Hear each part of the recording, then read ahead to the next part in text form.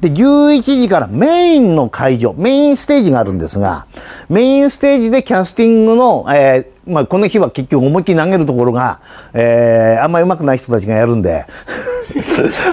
ねえー、だってさ、あの、なんか一人一人教えるやつ、あれやめろって僕散々言ったんですよ。だって、だって持ち方もロックスポできない人間がですよ、えー、変な持ち方してても、えい、ー、とかって投げてても、それでも教えてる。それは教えたことにならない。ね、全然ダメダメ。などこぞのインストラクターなんだかなんだか知らないけど、えー、全くダメな奴らがですね、そこに登場してきます。えー、ダメな人っていうのはだから、あの、あれよ。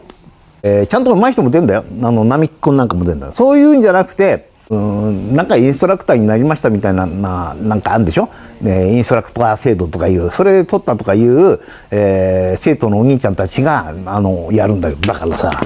リールの持ち方ってあるじゃん。こうスピニングをね一本の指で持っててこうやってこうやってペインって投げててもそのまま直さない。こう持ってくださいっていうことから教えなくちゃいけないのにそういうことを教えない人ダメな人と言います。何を教えてるんですか？そう。何を教えてるんだか全然わかりませんね、えー、某衛星衛星の釣り番組で、えー、変なプロが変なキャストばっかりしてるから真似するんですが、そうですおっしゃる通りです。そしてあの、あのー、某衛星放送の釣りビジョンってところの、あの、出てくる女の子たち、もう全然ダメダメ。話のほかで、な、大体ね、そこに一緒に出てくる野郎がダメ。